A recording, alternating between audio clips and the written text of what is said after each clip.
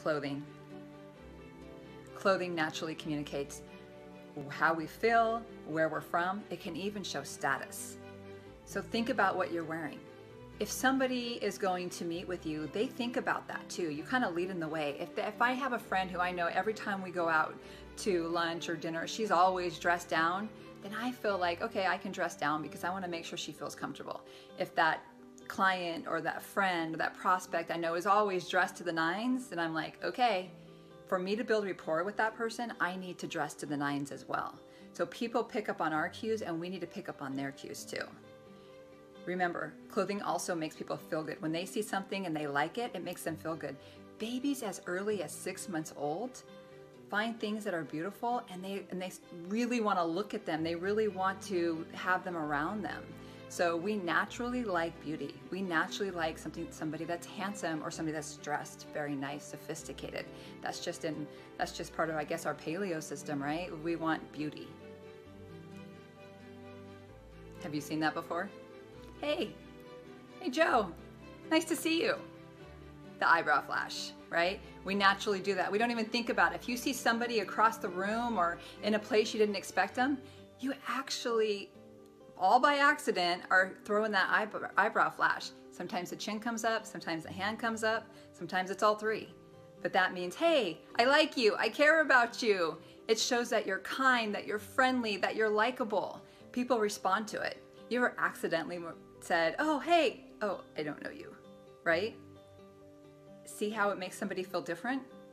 You ever walked up to a stranger and just been, hey, give them an eyebrow flash? It feels so much different than how you doing? Right?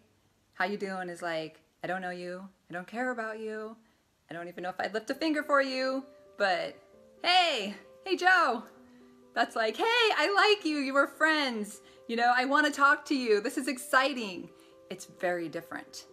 If while you're talking, if you are showing that you really don't care about the subject that you're talking about, it's to make them not care either. So this is part of the communication is we have to make sure that our body signals, our voice is all telling them what we want them to hear, what we want them to feel. Hmm, how does that feel compared to this? The head tilt. People like smiles, but they really like the head tilt.